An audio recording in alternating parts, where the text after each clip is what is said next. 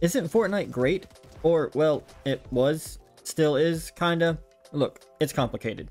It's no secret by now that Fortnite is absolutely massive. It completely changed the landscape of online gaming when it crash landed in 2017.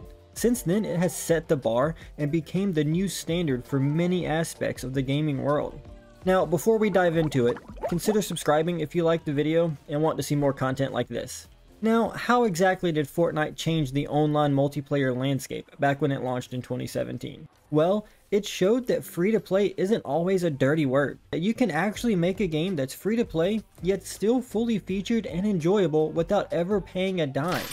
It also showed how to monetize a free to play game without feeling too greedy or creating a pay to win economy. On a smaller scale, it also completely took over and owned the Battle Royale genre. Now, it definitely didn't create the genre, as games like H1Z1 and PUBG had been on the scene for a while, but it completely dominated the genre when it hit. It added an interesting building system that shook things up and made firefights a bit more interesting.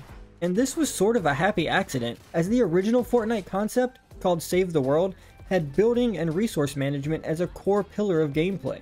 It just so happened that repurposing this for a battle royale worked wonders to separate Fortnite from the competition. But it also had an ace up its sleeve that made sure Fortnite was the biggest and most accessible battle royale out there.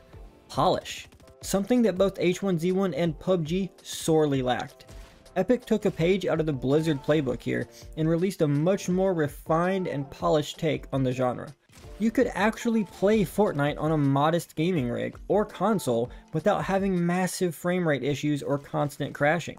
But none of that is what this video is actually about. What I want to talk about today is what I think is the biggest thing that Fortnite brought with it that had a huge impact on the entire gaming industry. It's Fortnite's greatest strength, but I think it has also become its greatest weakness.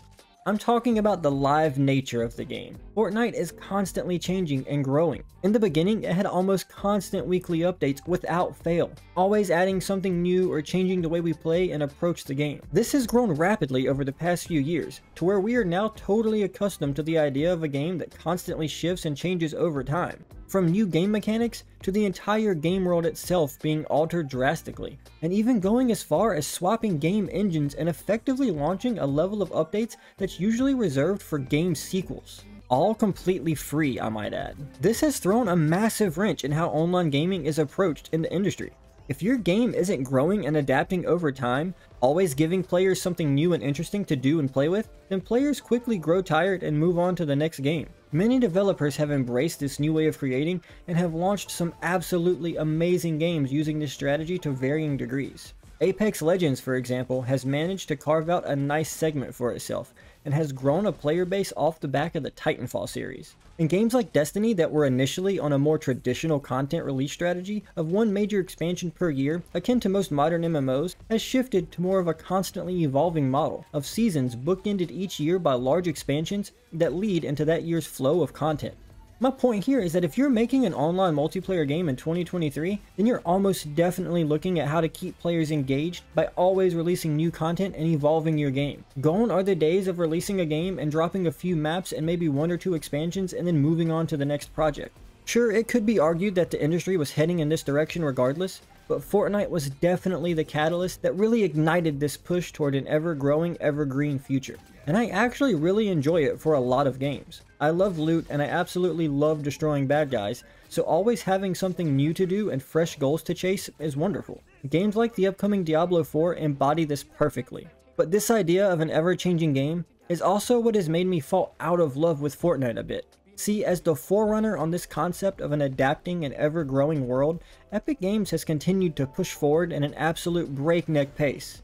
Changing and adding things so often, it's honestly hard to keep up with what's going on in the game at any given moment. The Fortnite you can play today is a totally different beast than the Fortnite from a few years ago, and I think it's lost a bit of its magic along the way. I've seen many other players pining about how great those first few seasons were, so I know I'm not alone here. It's usually chalked up to the game being fresh and players being new, and that's definitely a part of it, and it's something that can't really be helped. But what I really think is missing is that sense of wonder and discovery and the intense feeling of making it to that last circle. It had these moments that just had a certain weight to them that the current Fortnite lacks. I think a lot of that comes down to how few options we had in the game at the time. Finding a really rare weapon drop was super exciting, and you just knew you were about to absolutely wreck the lobby.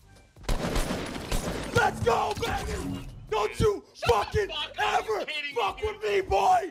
Back then, crossing the map and outrunning the storm felt like a big undertaking, something you actively had to keep an eye on and plan around. But these days, you just kind of drop wherever, the movement in the game allows you to get around so fast that the storm doesn't really pose much of a threat, and the map feels less exploratory as well, even though it has way more locations that are way more interesting.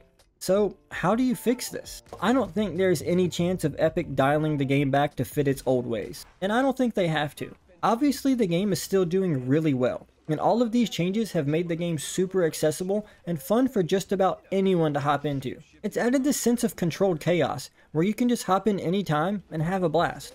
I think that a new game mode, an alternative approach that exists alongside the current modes, is the way to go. I like to call it Fortnite Hardcore, but I'm sure Epic can come up with something much more creative than that. I envision this as sort of Fortnite's answer to the ever-approaching wave of extraction-based games. More and more each month, it's seeming like extraction games will be the next big thing in online gaming. The thrill of getting a piece of loot and having to make it out safely is exhilarating, and in a lot of ways gives that same rush of excitement, anxiety, and adrenaline that you got back when you made it to the final circle for the first time, frantically looking around for those last few players and hoping you make it out alive. Fortnite is in a perfect position to capitalize on this new genre.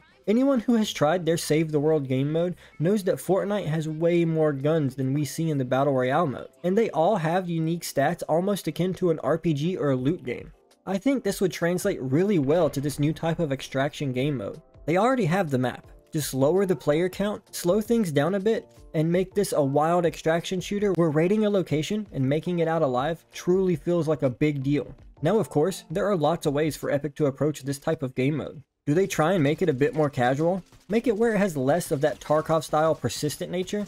And maybe instead view it as almost an online PvP roguelite. This to me seems like it would play much more like a higher stakes version of the current Fortnite Battle Royale mode we have now. Your motivation is more about earning cosmetics and battle pass progress, and less about having that persistent world where you keep what you make it out with and build your arsenal and account over time. Or do they make it much more like what we currently see in extraction games, where we get to keep what we loot in-game, and we work towards amassing an amazing arsenal of high-end loot to wage war with fellow players, albeit with that Fortnite level of polish and style of course. Also, having one of these modes with building included could be a really unique spin on the extraction formula overall. I think all this really comes down to how much resources Epic would want to put into this new endeavor and how much they want to put behind shifting Fortnite in this direction. To me, it seems like a no-brainer. Fortnite is in the perfect spot to adapt to this type of game mode. In worst case scenario is Epic gets yet another unique game mode to add to the Fortnite war chest of activities for players to do. Best case is they catch this new trend of games at the right time just as it did initially with the Battle Royale genre, and they put themselves in a position to lead the charge on the next big trend in online multiplayer gaming. Now here's a slightly different idea that could lead to the game also including some really unique and fun game modes. With Epic going all in on creators and giving players the ability to create almost anything with the release of the new Unreal Engine for Fortnite, it seems like a lot of their focus will be on this going forward. And I can't blame them. The biggest games in the world are games like Roblox and Minecraft that give players the ability to create their own game world however they see fit. Epic seems to be going after this on a grand scale, and if the recent State of Unreal showcase is any indication, it looks like it could become something really special going forward. But this also presents gamers the opportunity to create new game modes themselves. If these new tools really are as robust as Epic has said they are, it might not be too long before some very creative players are out there making all kinds of extraction style game modes inside of Fortnite. So, what do you think? Do you want to see Epic try to recapture some of that feeling that we got back in the early days of Fortnite? Or do you prefer the game as it is now? And if you do want to feel that magic again, what do you think they could do to get that back? Is my idea the right way to go? Or maybe you have a better idea of what they could do. Anyways, if you've made it this far, thank you so much for watching. It means a ton. Consider liking and hitting that subscribe button for more videos as I post. Later, taters.